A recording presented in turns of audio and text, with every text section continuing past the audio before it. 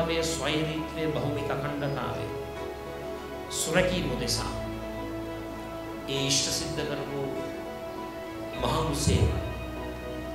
ඒ වගේම එතුමත් සමග දිවි පරදුවට තබමින් ගමේ රටේ තොටේ ගොවි දිහිවර කම්කරු ග්‍රාමීය නාගරික මධ්‍යම පාන්තික රාජ්‍ය සේවක පරපුරේ දූපුතු යුද හමුදා රණවිරුවන් ත්‍රිවිධ හමුදා රණවිරුවන් ආරක්ෂක ශේෂ්ත්‍රයේ රණවිරුවන් ගණනාවක් අද මේ ස්ථානයට වෙච්චි.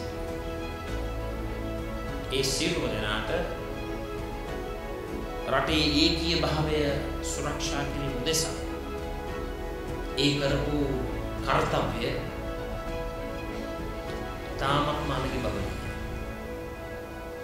ඒ කරපු සේවාවන් අපි කිසිම දවසක අමතක කරන්නේ ඒ වගේම මම සතුටු වෙනවා අපේ ශවෙන්ද්‍ර සිල්වා මැතිතුමා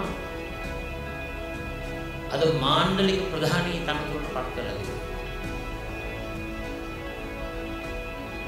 එතුමා වේ තනතුරට පත් කරේ අපේ අතිගරු ජනාධිපති මෛත්‍රීපාල සිරිසේන.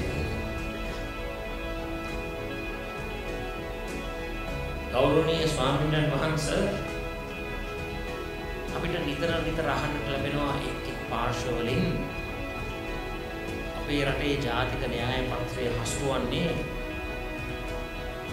විවිධ පිටස්තර බලවේග කියලා.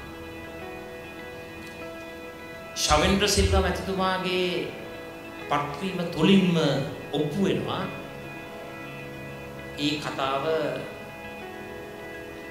අමූලික බුරුමක්.